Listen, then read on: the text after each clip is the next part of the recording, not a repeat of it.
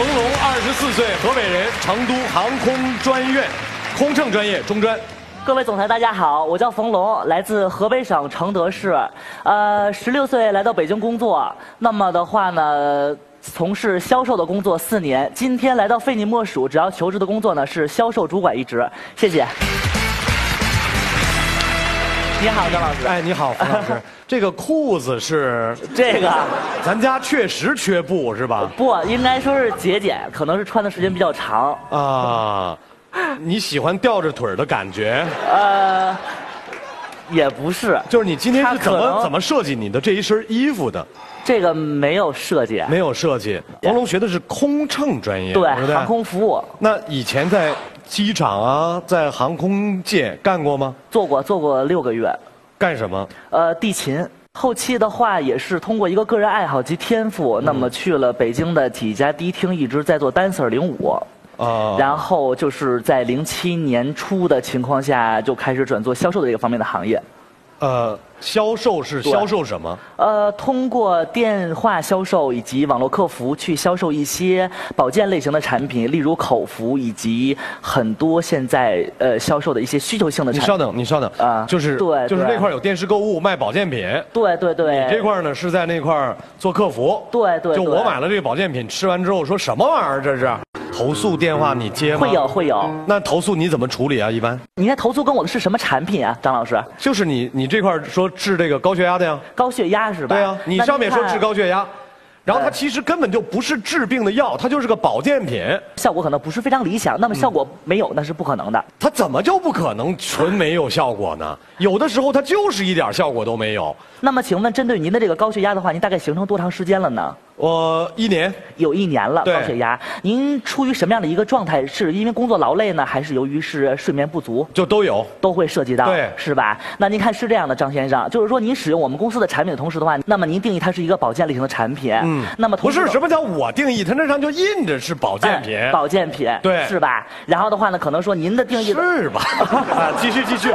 啊，然后您定义的话呢，是我们公司在做广告的时候呢，可能会涉及到有些治疗效果的作用，对，是吧？对。那么同时，继续啊，夸大啊，夸大，不不不不，张，你们就是夸大。张老师啊，您看是这样的，对吧？就是说广告它必定有一个夸张的一个效果。您看，比如说您感冒了，对不对？您也不能说您今天吃药马上你就会好，嗯，是不是？更何况您这高血压你已经一年了。所以小伙子，咱们就是这么聊的。说我吃你药，然后最后呢，好不好算我的，好算你的。可以不不不，这个这个这个这个这个这个是不会的。不好就是我生活习惯不好，好就是因为你这个不会不会是这样的，张先生，因为您的工作确实比较劳累。是是这样的，对吧？对。你就比如说您感冒了，您吃完药你也得休息啊。对。是吧？对。所以说的话呢，你。我是真受不了你这是吧 和对吧，其实是一个技巧，就不断让你说是是是是给你正面情绪的一个引导，你就生不起来气。我明白，他是在散播的是心理我跟大家说，第一，冯龙的这个是吧和对吧容易晕人；第二，冯龙有一个特点，进入状态非常快，留个口滋楞就钻进来。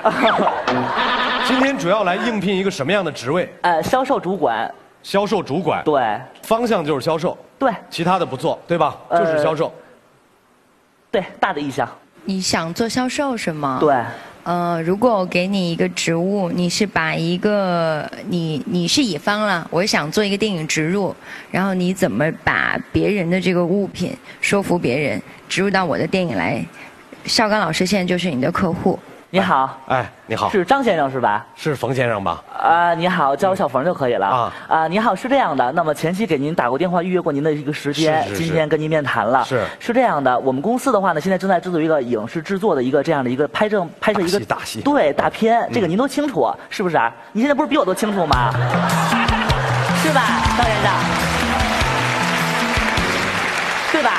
这个您都清楚。那么是这样的，就是说呢，可能之前我们公司的老总可能跟我提过您，说你们关系可能之前处的比较不错。嗯。那么的话呢，由我来给您捎个话。嗯。是这样的，就是说可能。捎个话。对对对。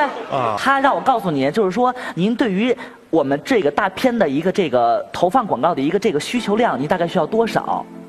我需要多少？对。我还没说我投不投呢。是吧？啊那您看，您都知道是我们这是一个，您都知道我们拍摄的是一个影视大作，啊对吧？啊那您看的话，您这方面的话，您不投的话，您不感觉失去了一个很好的一个？明白了的一个，明白这路子了，明白这路子。他在这路子里面，我来总结啊。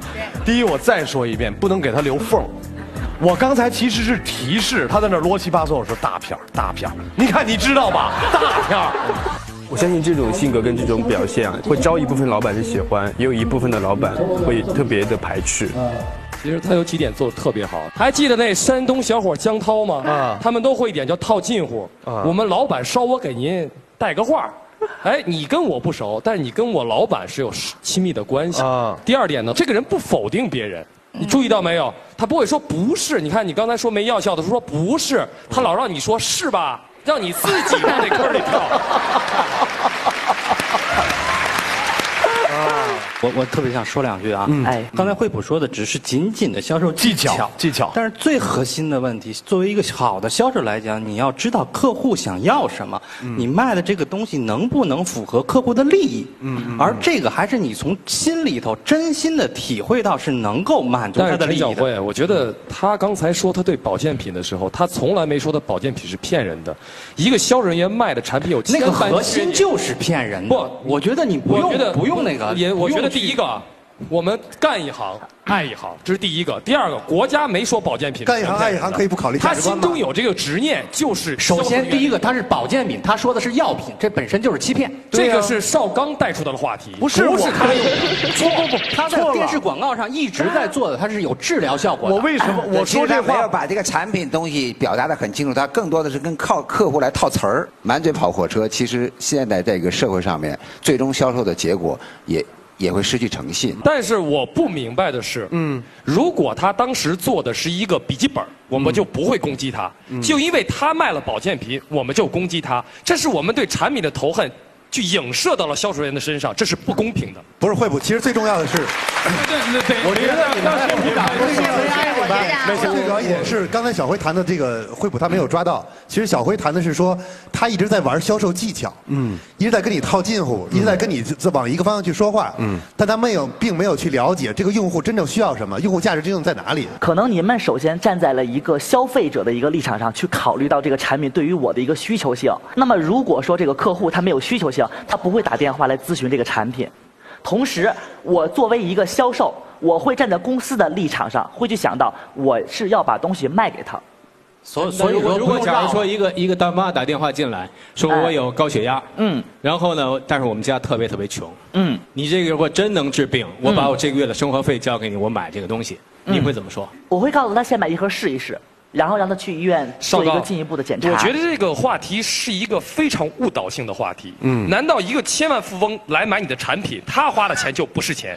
一个病入膏肓的人来买你的产品，他花的就是钱。所以说他这是一个从根儿上就没有考虑客户的，但是成本没有不绕来绕去，这是一个他没有严重误一个千万富翁买的时候，他的风险很小，他的财务风险很小。是的，可是你别忘了，千万富翁买了一个产品之后，他的身体风险是一样的。你误导到财务风险，还是觉得保健品道德性。你也承认保健品有问题。今天我们一定要分清一个东西，我们招的是一个销售，除非我们都认为自己是卖假货的，我们再来考量他的道德感。就因为我们这些老板卖的是正经的东西，我们干嘛要质疑他的道德感？好的销售是不是应该主动选择一些对于社会有利的产品去进行销售？是见利忘义，还是舍身取义的问题？一遇到商业当中的道德问题，它开始变得比较复杂。呃，我们秉承正确的价值观，在此基础上，我们是在找人，他是在找工作，这些事儿有千丝万缕的联系，但是在适当的时候也可以分开考虑。来，十二位选择让冯龙继续还是离开？任泉离开，小辉离开，美霞离开，小欧离开。谢欣离开，李颖离开，永琪老师也离开，莫言离开了，哇，这博洋也离谢谢很多人离开了。小辉，就说一句话啊，就是对这个求职者来讲，三十岁之前你能达到多少多高的高度，在于你的职业技能和技巧；三十岁之后你能达到多高的职业高度，在于你的人生观和价值观。好，谢谢小辉，谢谢。现在还有三家留了下来，你要向大家展示“天生我有才”。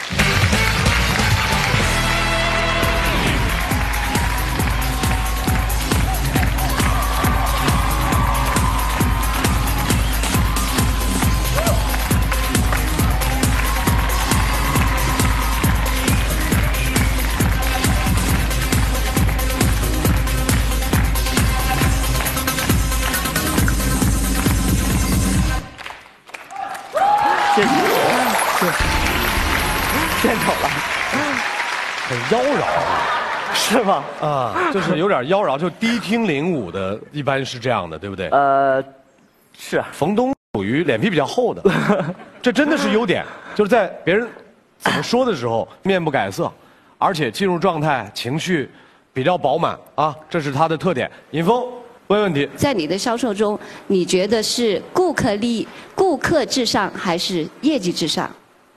我觉得是公司至上。公司要的是顾客满意。那么作为一个消费者，您看您是女性，那么首先的话呢，我感觉作为一个女人来说，她每天关于自己的一个心情，对于照镜子的情况下，我认为我今天高兴，我就非常漂亮；我认为我不高兴，我就不漂亮。会找自身的很多的一个，所以呢，所以你是要跟我说什么？所以啊，所以说这个消费者，那么他在购买任何产品的一个同时，说白了，销售现在对于很多顾客的一个感觉就是，我买一个心情，公司卖的就是一个服务。这句话怎么理解？很难理解的概念。什么叫买的就是个心情？瞬间的满意不代表永远的满意。如果不是以顾客满意之上的销售，最后是杀鸡取卵，对企业是很有杀伤力的。而且强调是付钱的时候特别开心。所以你刚才说的只让掏钱的那瞬间满意是不对的，我回家之后还得满意。完全不对。少刚，少刚，我给你提示一下，你给我提示一下。对对对啊，一个公司销售只是一个部门，它有生产、品控。市场、财务、人事、销售，它构成了生产出一个产品的主体。废话，我不去生产线买去啊。对，但是有一个问题，这个产品是走了这么长的地方生产出来的。嗯，我们现在把所有的问题，全放在让他去解答。我刘惠普，我跟你说，你是一个你是一个做销售出身的，所以我们一说问题吧，你就跟我踩了你尾巴一样。我觉得刘惠普正在正在把他的概念销售给你们。不是的，惠普，真的，我没有说我们在指责他，我只是说，如果销售只是让我体验花钱瞬间的快乐是不对的，我就说这么一句话。但是我觉得我们追加什么花钱以后的感受，我觉得任何一个公司都会有它的客服部门，都会有它的售后部门。你怎么不是这样？你的售后部门就是用来忽悠别人吗？不，他作为销售，这个这个，他作为销售，首先要了解自己的产品。其实他讲讲的意思就是说，我不管怎么样，不管你什么情况，我一定要把这个产品卖给你。惠普也在说，一个企业有很多链条，嗯，销售只是其中一个链条一个环。那这个问题出现什么呢？当销售不去注重产品，不去注重售后，不去考虑所有的链条的，我是其中一环，我的。造成的后果可能是其他的链条出现裂纹，在这时候，冯路你要明白，你的回答问题是推卸责任的。好，谢谢李颖。你为什么在大家围攻你说你产品是假的时候，你不能说一句，就是因为我现在想卖好的产品。真的，我觉得今天大家就是之所以这么围攻你，就是因为你一直没有为自己解释一句话。我觉得这一点上你不太像一个销售。我认为听完。消费者以及各位老总的一个谈话，我总结完以后，可能回答的会更好一点。但是您们没有给我机会回答。我们的讨论，呃，暂告一段落。三位现在你们要决定，让冯龙继续，还是离开？尹峰、段东、惠普，请选择。尹峰离开了。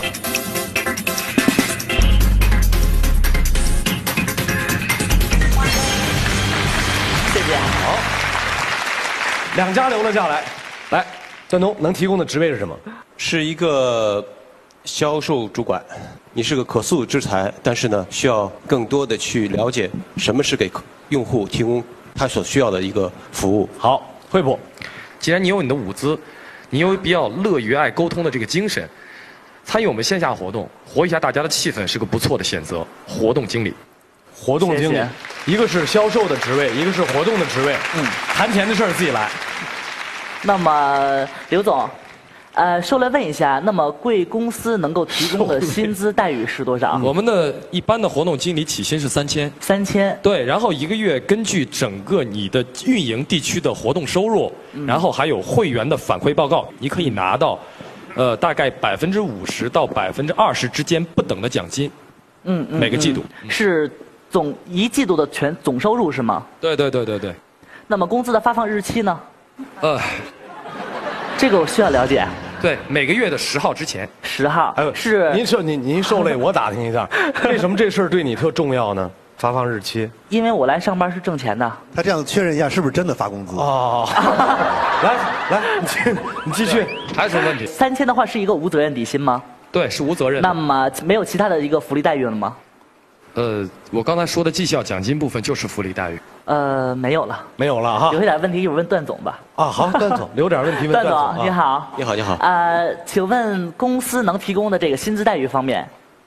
我们底薪也是三千块钱，但是呢嗯，加上提成，嗯。呃，底薪跟提成的这个比比例呢，大概是占到百分之三十。那么这个三千元的话，也是一个无责任的底薪。对，底薪。发放日期呢？薪资待遇？呃，每每个月的十号，我们考勤周期是考勤周期是一号到三十号，哎发放的十是号。上个月的。对，下发制。那么的话呢，是底薪加提成统一发放还是分开发？呃，是每月都是统一发放。统一发放的我们的工资是按月发放，奖金是按月季度发放。哎，你怎么那么啰嗦呀？来吧，十五秒钟，告诉我们你的选择是五八同城，或者是世纪佳缘，或者谢谢再见。